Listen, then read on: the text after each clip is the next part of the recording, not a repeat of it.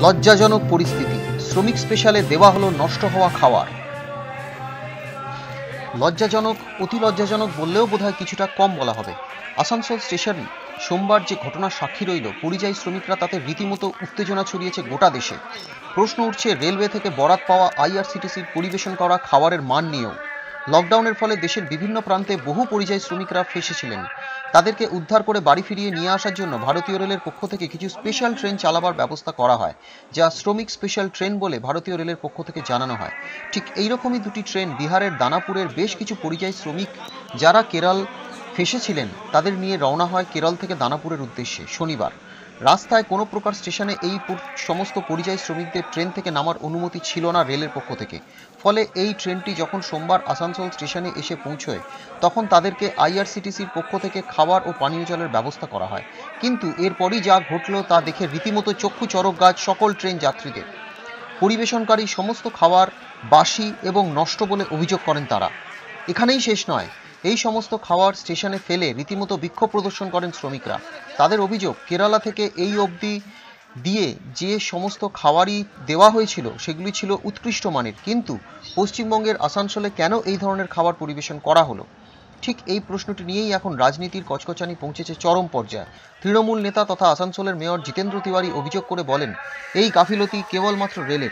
তিনি এর সঙ্গে আরও যোগ করে বলেন যে, যখন কোনো ভালো খবর থাকে। রেলের তখন ভারতীয় রেল রীতিমতো ফটো তুলে তা চারিদিকে জাহির করে।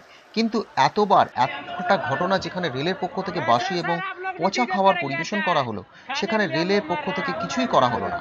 উনি এই প্রসঙ্গে কেন্দ্রীয় মন্ত্রী তথা বিজেপি সাংসদ বাবুল সুপ্রিয়কেও নেন এক হাত। মন্ত্রী বাবুলের উদ্দেশ্যে কটাক্ষ করে তিনি বলেন যে তিনি শুধু হেয়ার স্টাইল করতেই ব্যস্ত। তার এই আমস্ত ছোট হাত দিয়ে তাকাবার এত সময় নেই।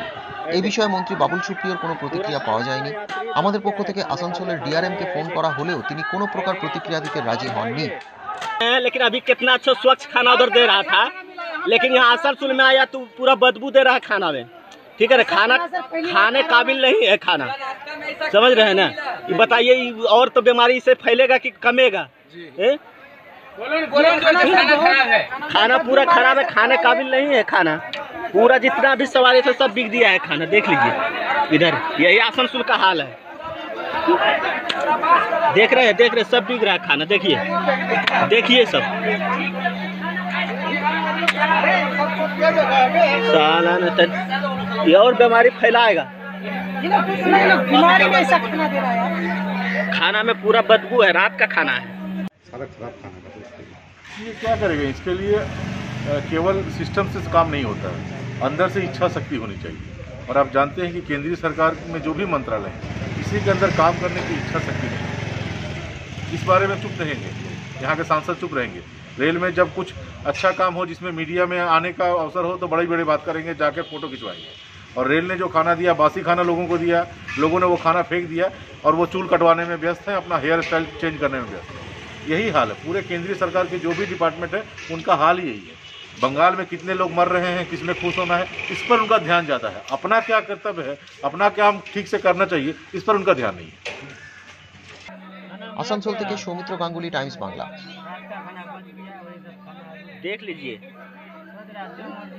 हाँ